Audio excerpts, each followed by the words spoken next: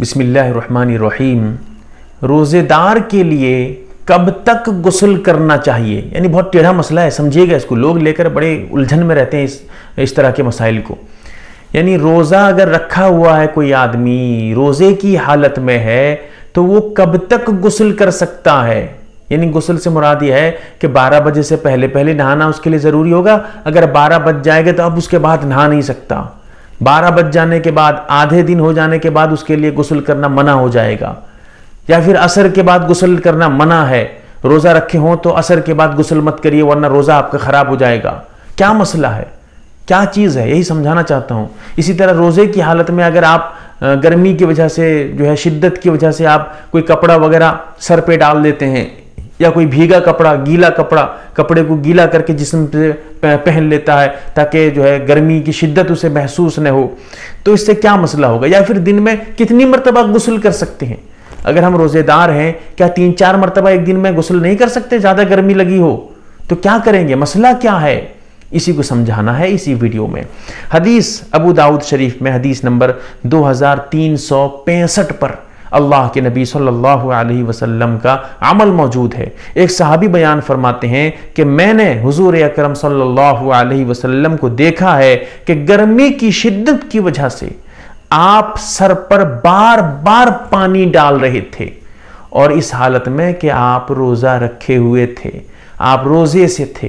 इसीलिए ने लिखा है कि रोजेदार दिन में जितनी मरतबा चाहे गुसल कर सकता है। उसके लिए कोई मुतयन नहीं है कि रोज़े से है तो दो मरतबा कर सकता है। ऐसा नहीं है।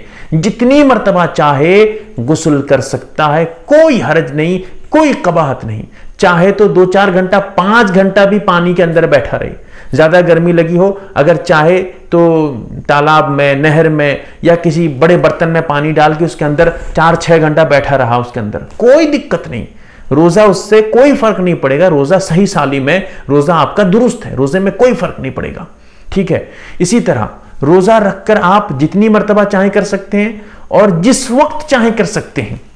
अगर आप चाहें तो 10 बजे भी गुसल कर सकते हैं, चाहे तो आधे दिन के बाद 12 बजे 1 बजे 2 बजे भी, चाहे तो असर की नमाज़ के बाद भी आप गुसल कर सकते हैं। कोई रुकावट नहीं है, कोई हरज नहीं है, न मकरू तक है, कुछ नहीं है।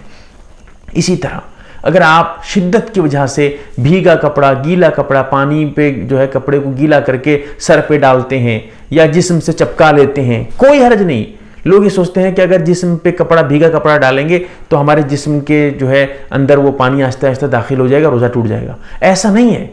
रोज़ा जिस्म के जो है, अंदर पानी दाखिल होने से इस तरह नहीं है। पानी अगर आप पैखाने के रास्ते से दाखिल करते हैं, या नाक के रास्ते से दाखिल करते हैं, या फिर जो है, आप मुँह के रास्ते से पानी पी लेते हैं, तब रोज़ा टूटता है। अगर जिस्म से पानी, जिस्म पे पानी कहीं लगा हो, वो आहिस्ता आहिस्ता ख़त्म हो जाए, वो आपके जिस्म के अंदर जज्ब कर जाए आपका जिस्म, आपकी जो है चमड़ी जो है, आपके जिस्म का चमड़ा, वो पानी को सोस ले और अंदर पानी चला जाए।